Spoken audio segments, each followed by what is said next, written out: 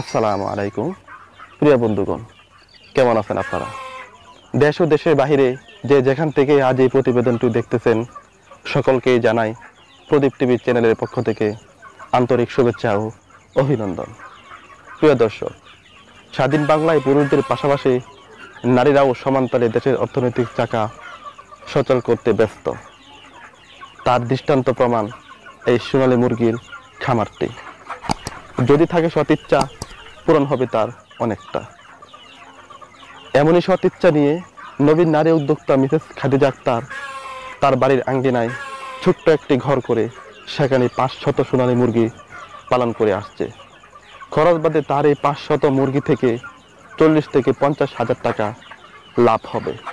তার ইচ্ছা সে একদিন প্রতিষ্ঠিত হবে। দর্শক, এই মুহূর্তে কথা বলব নারী উদ্যোক্তা মিসেস খাদিজা আক্তারের সাথে। জেনে নেব তিনি কীভাবে সোনালী মুরগি পালন শুরু করেছেন। আসসালামু আলাইকুম। ওয়ালাইকুম সালাম। এই খামারটা মূলত কতদিন হয়েছে দিচ্ছেন দুই মাসে এগারো দিন। এই যে ঘরটা করছেন এই ঘরটা কত টাকা খরচ হয়েছে? ষাট হাজার এমন লাগছে। সাত হাজার। ষাট হাজার। আচ্ছা ষাট হাজার টাকা। এই ঘরের মধ্যে কতগুলো মুরগি পালন করা যাবে? আমি তো মনে হয় পাঁচশো মুরগি তুলছি। পাঁচশো মুরগি? এমন তুলতে তুলতে হবে না ছোটো ঘর না। মানে পাঁচশো থেকে উপরে তোলা যাবে? তোলা যাবে মানে লিমিট মানে হ্যাঁ, পাঁচশো। পাঁচ- আপনি এই মুরগি যখন প্রথম শুরু থেকে পালন শুরু করছেন মানে কতদিন বয়স একটা বাচ্চা আনছেন এই মুরগিটা? বাচ্চা আনছি মানে আমি প্রথম দিনে। বাচ্চা ফুটানোর পরে প্রথম দিনে দিয়ে বাচ্চা। প্রথম দিনে দিয়ে হ্যাঁ প্রথম দিনে দিয়ে দিচ্ছে আপনার প্রথম থেকে যখন বাচ্চা ঘরে তুলে পালন শুরু করছে। তখন কি ধরনের খাবার দিতে হয় মুরগিকে? ছোট্ট দানাদার খাবার দিছে। তখন কি কোনো ভ্যাকসিন দিতে হয় সাথে সাথে? না ভ্যাকসিন দিছি না।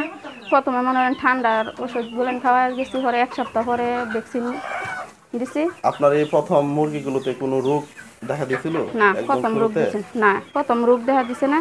তারপরে মনে হয় এক সপ্তাহ গেছে পরে একটু ঠান্ডা লাগছে। ঠান্ডা লাগছে। পরে ঠান্ডার জন্য কি খাওয়াইছেন? ঠান্ডার জন্য মনে হয় খাওয়াইছি আপনার ওষুধ ডাক্তারে দিছে।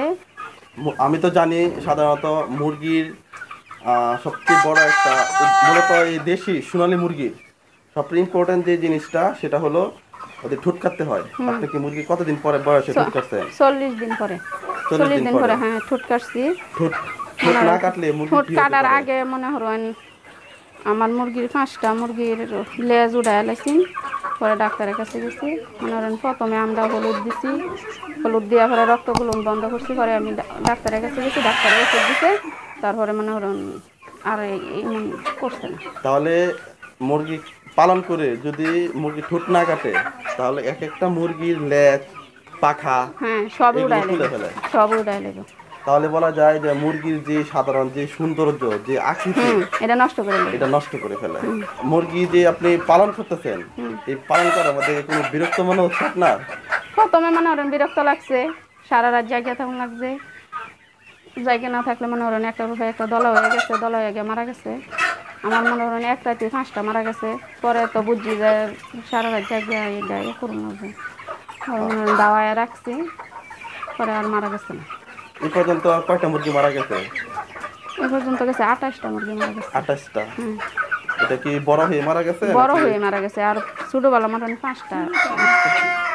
খাবার খাইতেছে ওষুধ পরা খাইতেছে তারপরে যদি মারা যায় তাহলে আমারও লস হ্যাঁ হ্যাঁ বুঝতে পারছি। তা আপনার এই মুরগির বয়স কত হয়েছে? বয়স হয়েছে দুই মাস এগারো দিন। দুই মাস এগারো দিন। আর কতদিন রাখবেন এই মুরগিটা আপনার খামারে? আর এক সপ্তাহ। আর এক সপ্তাহ। হ্যাঁ। বর্তমান যে বাজার আছে আপনার কি মনে করেন যে মুরগিগুলো বিক্রি করে আপনি মোটামুটি লাভবান বলতে প্রথমে যে সময় তুলছিলাম এই সময় মনে হচ্ছে যে তিনশো টাকা কেজি আছে নন তো মনে করেন কমে গেছে আমি একটু লাভবান কম হয়ে মানে তারপরও কি পরিমাণ লাভবান হতে পারে? এটা আইডিয়া আছে? আইডিয়া বলতে বিশ তিরিশ তো থাকব আচ্ছা আচ্ছা দেখ আলহামদুলিল্লাহ। মূলত পাঁচশো মুরগি ধরবে এরকম একটা ঘরের মধ্যে এই পরিমাণ থাকবে এটা তো আলহামদুলিল্লাহ।